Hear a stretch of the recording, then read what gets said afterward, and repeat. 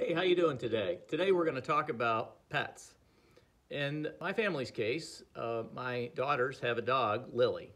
Now, Lily can be kind of a pain at a time. Uh, she barks when she shouldn't, poops where she shouldn't poop, and uh, generally can be kind of a pest. But actually, uh, I love her, even though Austin and Parker don't think that I do. But we love her anyways. But Lily, as you can imagine, she's a bit of a dust mop, really. She really couldn't harm much of anyone. She might startle you if you walk into the room uh, and uh, catches her off guard. We also have a cat. His name is Rambo. Now, I don't think Rambo could hurt anybody. Here he is. He doesn't do much. He eats, lays around, sleeps a lot. Uh, he's actually kind of getting on. In, in uh, cat years, he's 18. I don't know what that makes him as a human. But anyways, there are other types of animals that people have, such as very large uh, dogs. Um, in some cases, people have exotic animals, but let's just talk about dogs for a minute. One of the things that's been in the news nationally are people that own pit bulls.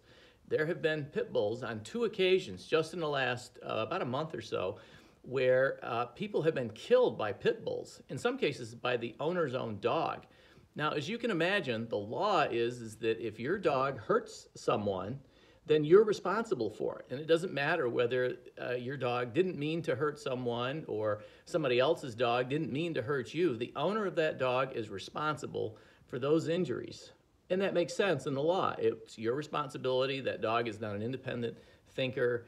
Um, it's your responsibility. So you need to know that if someone has uh, a dog that hurts you, that you do have legal rights. In Florida, there's very strict liability if the dog bites you.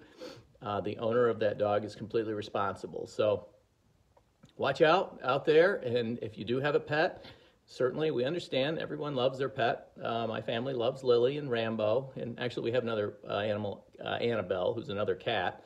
But uh, be safe out there. And if uh, you have any questions about this, you know, certainly give my office a call. My team is happy to help out at any time. Even if you have a question about how your insurance policy would uh, impact you if you had something unfortunate happen with your pet. Thanks so much. Bye-bye.